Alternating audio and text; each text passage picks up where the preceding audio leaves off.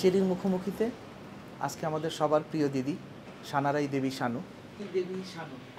অনেক সংগ্রাম অনেক ত্যাগ অনেক সময় পার করে আজকে সানারাই দেবী শানু। আমার নামের মানে অর্থ নিয়ে আমি আসলে আমি অনেক বেশি মানে মানে ভালো লাগা নিয়ে আমি আসলে নামটা বলি। কারণ আমি যেহেতু মণিপুরি মেয়ে আমার নামের নামটিও আসলে মণিপুরি শব্দ।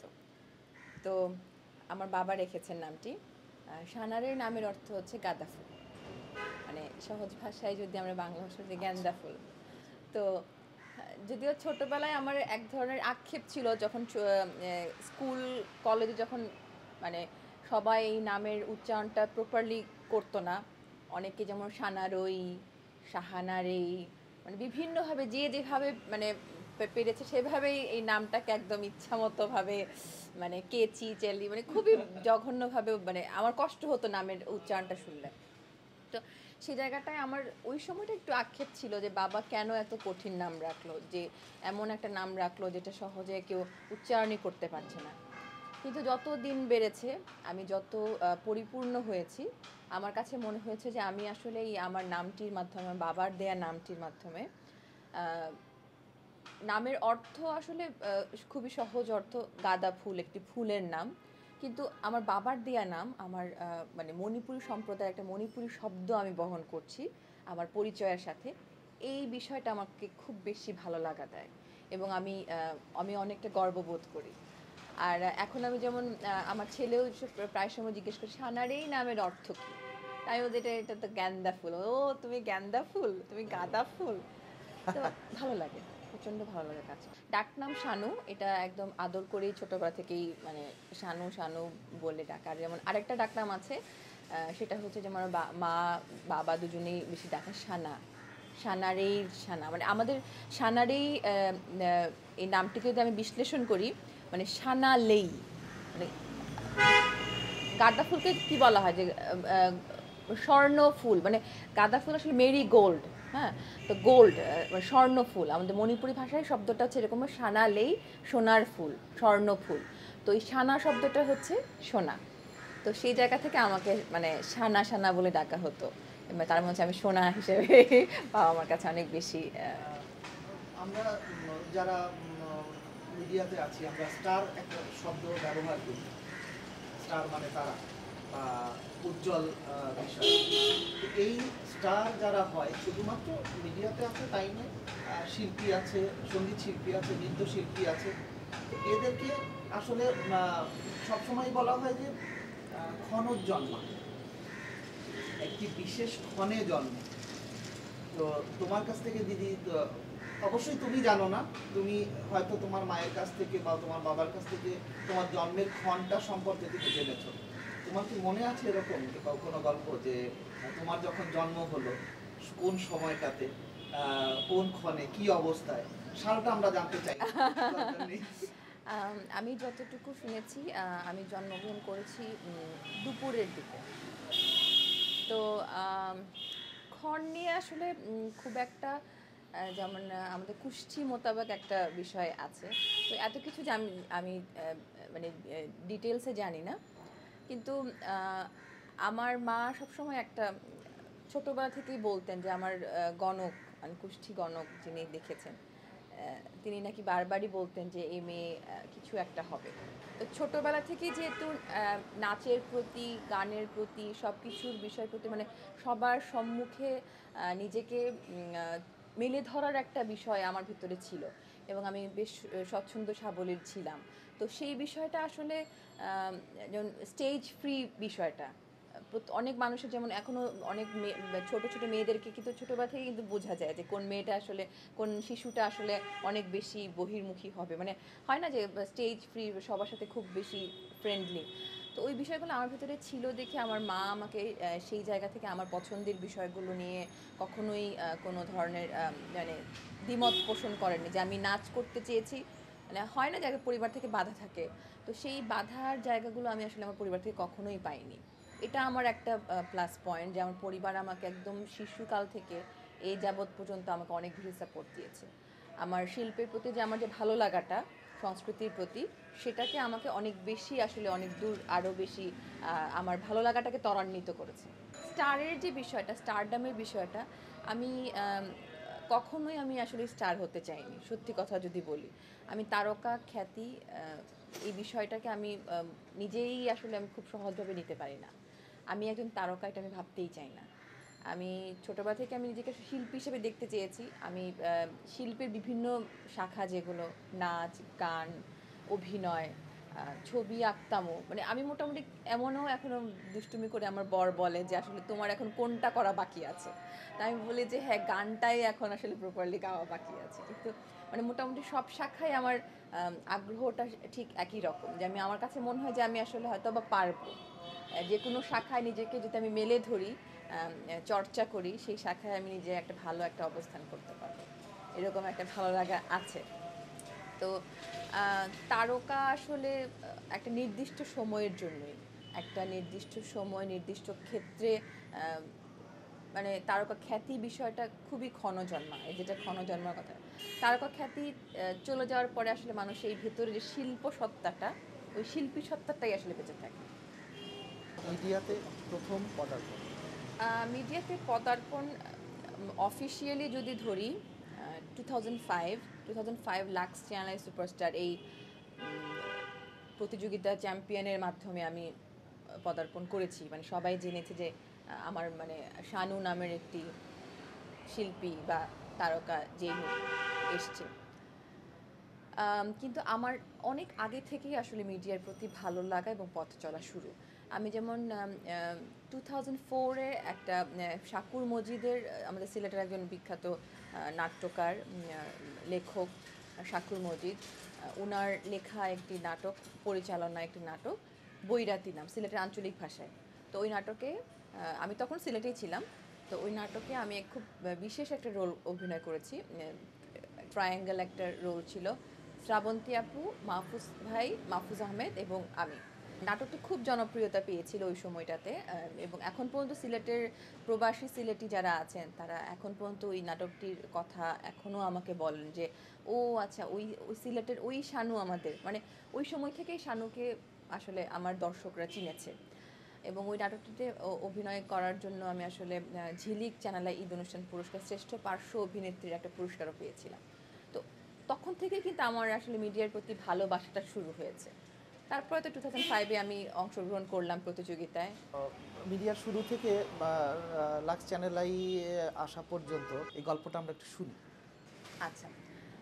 টু থাউজেন্ড ফাইভে যখন আসলে লাক্সের এই প্রতিযোগিতাটা শুরু হলো ক্যাম্পেইন শুরু হলো প্রচারণা শুরু হলো প্রচারণাটা খুব সুন্দর একটা প্রচারণা ছিল যে রূপসী তোমার গুণের খোঁজে।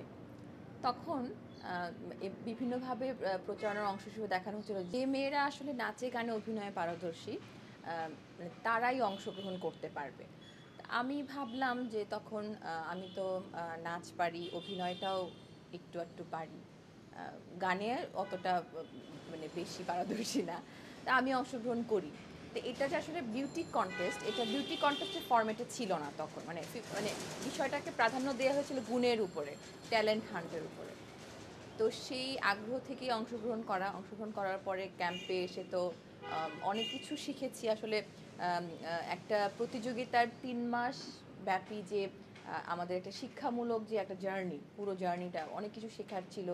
অনেক বড় বড় তারকাদের সাথে পরিচয় হয়েছে। তাদের কাছ থেকে তাদেরকে তাদের অভিজ্ঞতা থেকে অনেক কিছু শেখার মানে পেয়েছি। সব কিছু মিলে এই জার্নিটা আসলে আমি বলব শুধু আমার জন্য না, যারা আমরা ওই ক্যাম্পে ছিলাম, পুরো প্রতিযোগিতায় ছিলাম, তাদের প্রত্যেকের জন্য এটা জীবনের একটা শিক্ষণীয় একটা বিষয় হিসেবে থাকবে সারা জীবনের জন্য। আর আমি যখন অংশগ্রহণ করি, তখন আমার মাথায় আসলে এরকম ছিল না বিষয়টা যে আমি মানে আমি প্রথম হতেই হবে। আমার নিজের একটা আত্মবিশ্বাস ছিল, আমি একটা অবস্থানে পৌঁছাতে পারব। কিন্তু প্রথম হয়ে যাব সেটা ভাবিনি, সত্যি কথা যদি বলি। আর আমি খুব মানে খুব অনেস্টলি যদি বলি যে আমি এভাবে ভাবছিলাম যে আমি যেহেতু একটা নৃতাত্ত্বিক জনগোষ্ঠীর মেয়ে, মণিপুরি মেয়ে, বাঙালি চেহারার মেয়ে না, তো সেক্ষেত্রে হয়তো বা সাধারণ দর্শকদের একটা একটা পাবলিক ভোটের একটা বিষয় ছিল ভোটিংয়ের জায়গা থেকে। তো সেই জায়গাটায় হয়তো বা আমাকে দর্শকরা ওইভাবে গ্রহণ করবে না, এটা আমার ব্যক্তিগত ধারণা ছিল।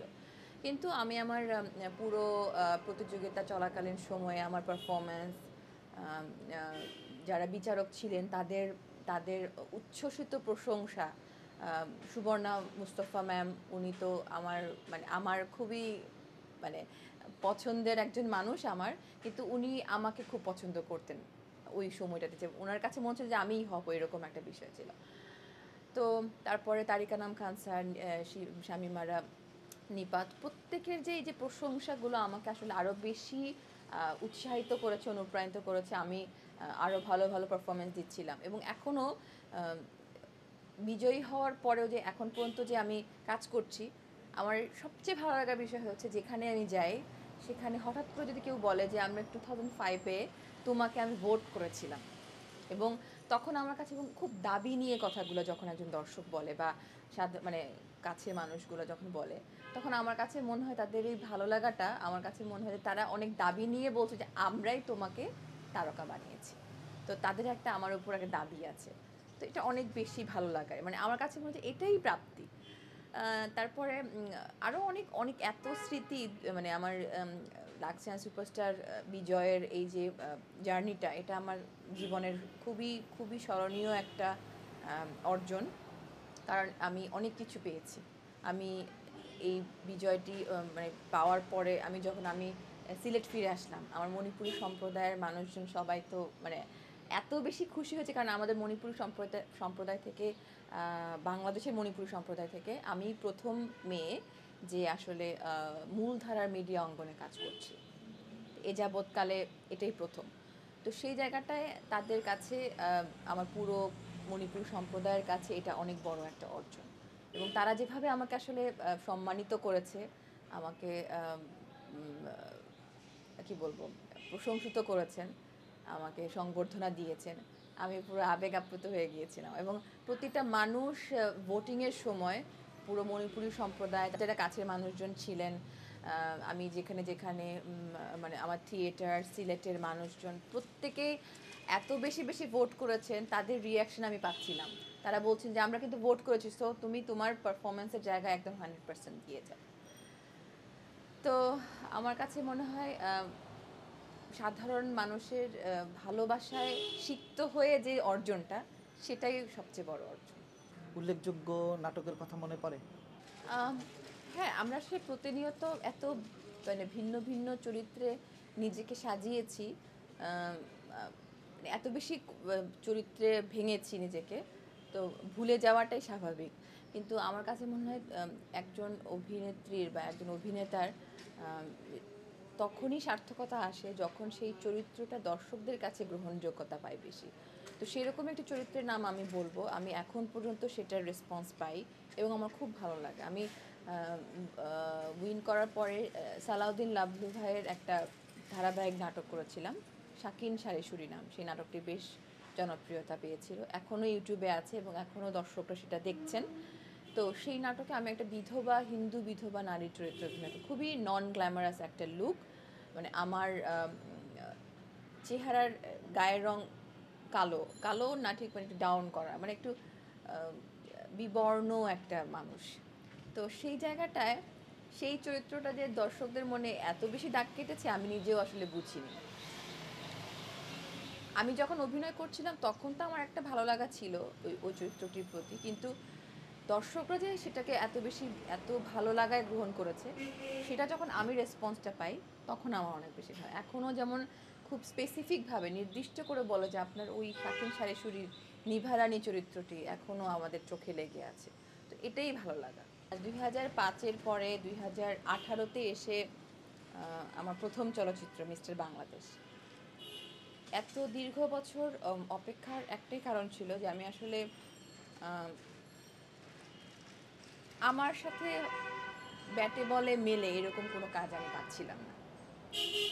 আমার একটা আক্ষেপ আছে, শুরু থেকেই ছিল এখনও আছে, এটা থাকবে।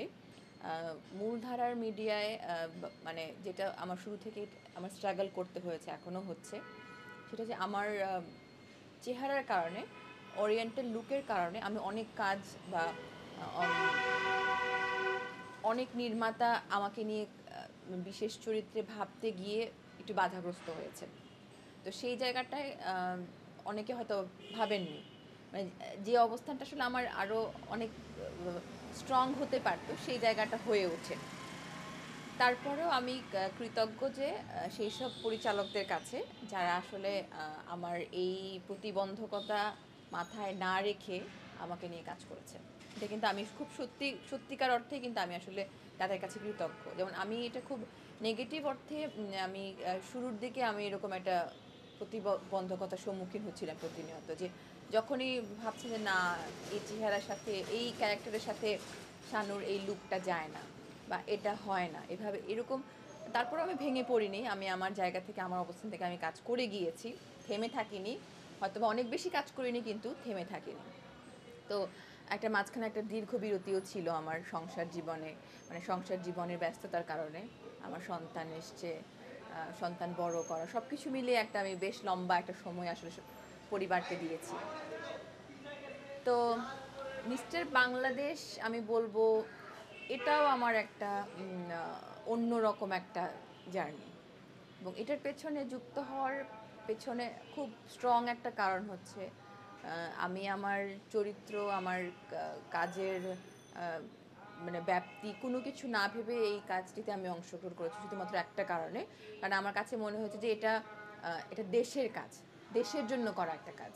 তো সেই জায়গা থেকে আমার কাছে মনে হয়েছিল যখনই আমি মানে ছবির প্রস্তাবটা আমি পাই, তখন আমার কাছে মনে হয়েছে আমার এই ছবিটার সাথে অংশগ্রহণ মানেই হচ্ছে একটা চেতনার সাথে, একটা কাজের সাথে মানে একটা আমার ফিল্ম মানেই তো একটা মানে একটা এমন একটা ক্যানভাস বড় একটা ক্যানভাস যেটার সাথে আমরা আসলে মানে পুরো লাইফটাকেই আমরা জুড়ে দিই এবং জীবনের বিভিন্ন বিষয়কেই আমরা আসলে দর্শকদের কাছে তুলে ধরার চেষ্টা করি। তো মিস্টার বাংলাদেশের বিষয়টা এমন একটা বিষয় ছিল যে জঙ্গিবাদের বিরুদ্ধে একটা প্রতিবাদী একটা কণ্ঠস্বর। তো সেই কণ্ঠস্বরের সাথে আমরাও যুক্ত হচ্ছি, পুরো টিম যেখানে। এটা একটা অন্যরকম একটা ভালো লাগা একটা চেতনা তৈরি করেছে আসলে। সেই ভালো লাগা থেকেই অংশগ্রহণ করা। মানে এটা এটা যে আমি, এটা আমি এভাবে ভাবিনি যে এটা এই ফিল্মটি করলে আমার বাণিজ্যিক মানে বাণিজ্যিকভাবে কতটা সফল হবে বা দর্শকরা কোনভাবে আমাকে অংশ মানে গ্রহণ করবে, কোনো কিছু ভেব, না ভেবেই কিন্তু কাজটাতে আমার অংশগ্রহণ করা শুধুমাত্র এই চেতনাটির জন্য। নারী হিসেবে মেয়ে হিসেবে মিডিয়াতে কাজ করতে গিয়ে আহ, তোমার যেমন আহ, কোথাও যেমন তুমি একটা একটা বাধার কথা বললে আহ, যে এছাড়া কি অন্য কোনো রকম কোনো বাধার সম্মুখীন ছিলে? না বাধার সম আমি শুধু মিডিয়াকে নির্দিষ্ট করে বলব না। প্রতিটা ক্ষেত্রেই মানে প্রতিটা সেক্টরেই আমি বলব যে আসলে ভালো খারাপ দুটো দিকই আছে। তো সেই ভালো খারাপ দুটো দিকের মানে বিচার বিবেচনা করে পথ চলার দায়িত্ব কিন্তু প্রত্যেকের নিজের। সে জায়গায় মিডিয়াতেও কিছু বলব যে খারাপ খারাপ বলব না কিছু মানে একটু মানুষকে বিভ্রান্তিতে ফেলে দেওয়ার মতো কিছু কাজ হয়তো হয়। তো সেই জায়গাগুলো থেকে খুব সচেতনভাবেই ওই জায়গাগুলোকে অ্যাভয়েড করে করে কাজ করে এসেছি। লেখিকা, মডেল, অভিনেত্রী। এটাকে তুমি কীভাবে বিশ্লেষণ করবে? আমি ব্যক্তিগতভাবে এটা বিশ্বাস করি যখন যে রোলটা আমি প্লে করি, সেই রোলটা আমি আমার অবস্থান থেকে আমি একদম শতভাগ দেওয়ার চেষ্টা করি। যখন আমি লেখিকা, তখন আমি আসলেই লেখিকা। যদিও একটু আমার অভিনেত্রী ইমেজটা সেটার সাথে সাংঘর্ষিক বেশ সাংঘর্ষিক, কারণ মানে নায়িকা ইমেজটা বা অভিনেত্রী ইমেজটা এত বেশি প্রাধান্য পায়, তখন লেখক বা কবি শানুটা আসলে তখন সবার কাছে একটা প্রশ্নবিদ্ধ হয় আর কি, যে আসলে আদৌ কি আমি কবিতা লিখছি, আদৌ কি আমি কবি, আদৌ কি আমি লেখক? তো সেই জায়গাটা সাংঘর্ষিক হলেও আমি আসলে আমার লেখক সত্তাটাকে খুব খুব ভালোভাবে এনজয় করছি এখন এই মুহূর্তে। আমার, এটা আমার নিজস্ব একটা সত্তা। এটা আমার শুধু একান্ত আমার। আর অভিনেত্রী সত্তাটা এই অভিনেত্রী সত্তাটা আমাকে অনেক কিছু দিয়েছে। পরিচিতি দিয়েছে, অনেক মানুষের ভালোবাসা দিয়েছে। তো এটা নিয়েও আমি অনেক গর্ববোধ করি। আর মডেল, আসলে মডেলিংটা অনেক অনেক ক্ষেত্রে আমি কিছুটা ভালো লাগার জায়গা থেকে করেছিলাম। কিন্তু আমি একদম যদি বলি খুব অনেস্ট যদি বলি আমি যদি বিশ্লেষণ করি নিজেকে অ্যাজ এ মডেল আমি পারফেক্ট না।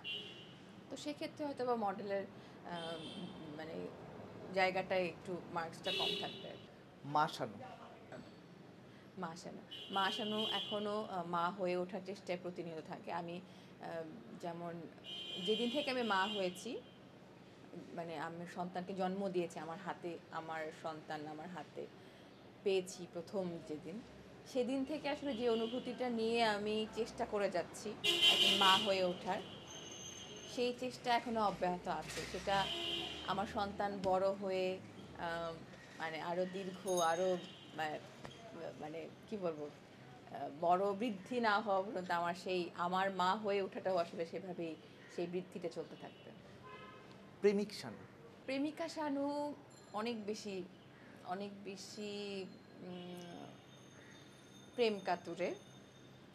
কারণ হচ্ছে প্রেমিকা শানুর সাথে লেখক শানুর একটা খুব খুব সুন্দর একটা, খুব গোপন একটা অন্তমিল আছে।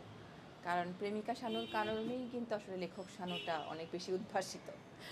তো সেই কারণে প্রেমটা আমার জীবন অনেক বেশি জরুরি। কারণ আমার আশেপাশে যদি কোনো প্রেম নাও থাকে, আমি আকাশের সাথে প্রেম করি। আমি পাতার সাথে প্রেম করি আমি গাছের সাথে প্রেম করি আমি লতা পাতা ফুল মানে মেঘ মানে সব কিছুর সাথে প্রেম করি। তো আমার কাছে প্রেম আসলে আমার কাছে মনে হয় প্রেম এমন একটা শক্তি একটা মানুষকে বাঁচিয়ে রাখে। শানু? বউ শানু আমার কাছে মনে হয় একটু কম মার্কস পাবে কারণ দায়িত্বের জায়গা থেকে আমি চেষ্টা করি কিন্তু স্বামী জেভিয়ার আসলে বউ শানুকে যতটা পাওয়ার কথা যতটা আসলে দায়িত্বশীল জায়গায় পাওয়ার কথা সেই সব মানে সত্তাগুলো ভাগ হয়ে যাওয়ার কারণে বউ শানুটাকে কম পায়।